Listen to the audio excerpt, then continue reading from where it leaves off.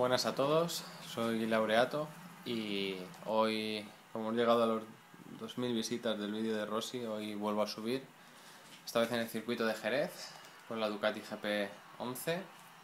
Bueno, lo de siempre, salimos últimos y vamos a... A ver qué os enseño. Yo la idea de esta carrera es, pues, enseñaros un poco los secretos del circuito de Jerez o donde creo yo que hago los tiempos bueno. La verdad que llevo un par de semanas, por no decir casi un mes sin jugar. Pero bueno. Vamos a ver qué hacemos.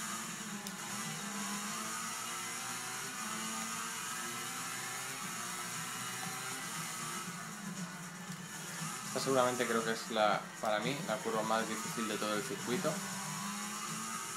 Viene bueno, esta recta larga con una frenada muy fuerte. Siempre el cuerpo hacia atrás. Si se levanta la rueda de atrás un poco, pues lo corregís, no pasa nada. Y bueno, ahora ya tenemos la pista libre, vamos a ver dónde podemos mejorar.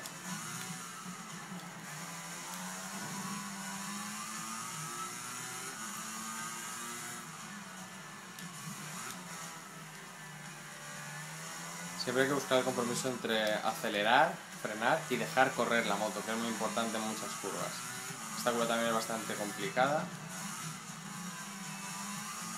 Entre la de antes, que creo que es la 1, 2, 3, la cuarta o la quinta curva, y esa, creo que son las más difíciles, pero no es no creo que sea donde se hace el tiempo. Entonces, vamos a ver, venga.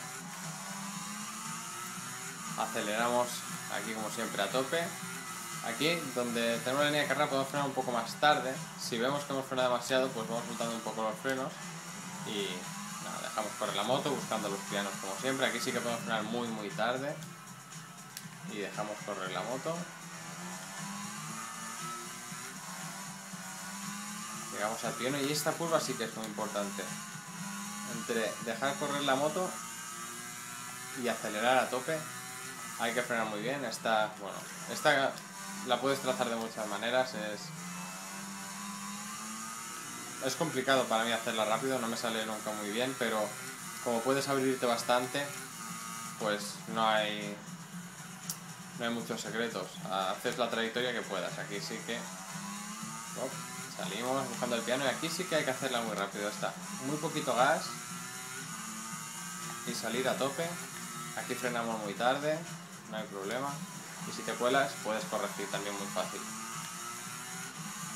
Aquí también podemos frenar muy tarde y soltamos frenos, que la moto corra, buscamos el piano, volvemos a ver, frenamos, dejamos que la moto corra y aceleramos a tope. Y ahora sí, esta sí que es importante frenar muy justo y luego entonces ya buscamos. Y esta si la podemos hacer sin levantar gas es perfecto, pero es muy difícil. Y ahora he soltado un poquito de gas, no he tocado el freno y me he colado, pero bueno. Volvemos a de antes, recta. Y frenamos a tope, se levanta un poco la moto de atrás, no pasa nada.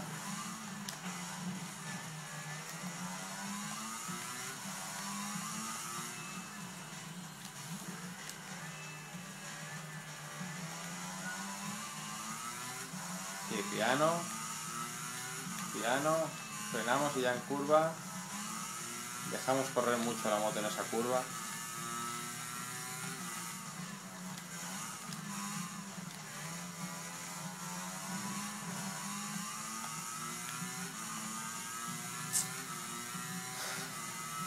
Un segundo más lento que mi vuelta rápida en este circuito en la anterior, pero Me he estado mirando el tiempo que había hecho.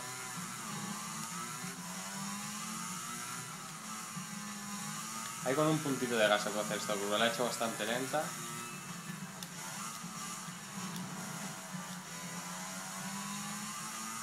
Y lo mismo, apretando la X para que salga rápido acelerando y cuando veamos que nos hemos colado en la curva, soltamos la X para que incline un poco más y vemos que nos vamos a salir de la trazada y ya está.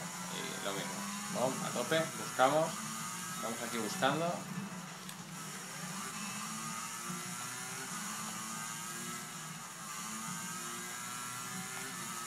Piano, piano, pum. Frenada. Muy fuerte. Aquí dejamos correr la moto. Y ya estamos.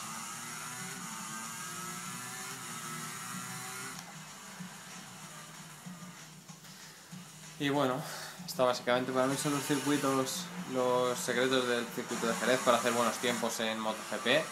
Como habéis visto hay dos curvas que son complicadas, pero bueno, se hacen...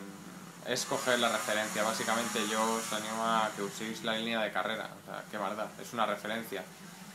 Y donde se hace el tiempo, como veis, es en ahí hemos probado, pero en esta rápida de izquierdas es muy importante, por ejemplo ahí veis cómo salimos más rápido que Dovicioso, salir por el interior y cogiendo más pista.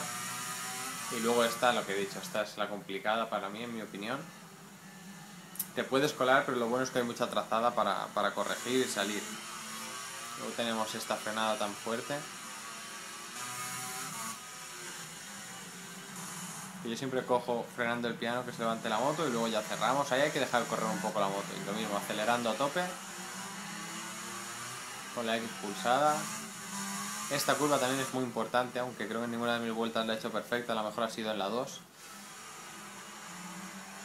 Y nada, esta también podemos frenar muy tarde.